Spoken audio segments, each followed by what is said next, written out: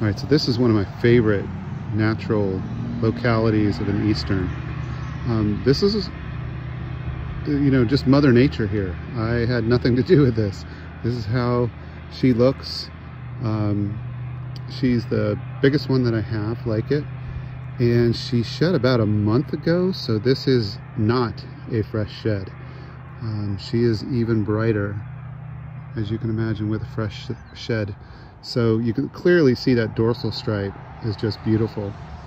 Um, but I also like the creamy sides and the black markings. That's almost reminiscent of a uh, eastern blackneck, you know, when you look at that pattern down the side. Really, really cool snake. So I'm excited to get these going uh, for the hobby and um, who knows, maybe we'll have babies soon.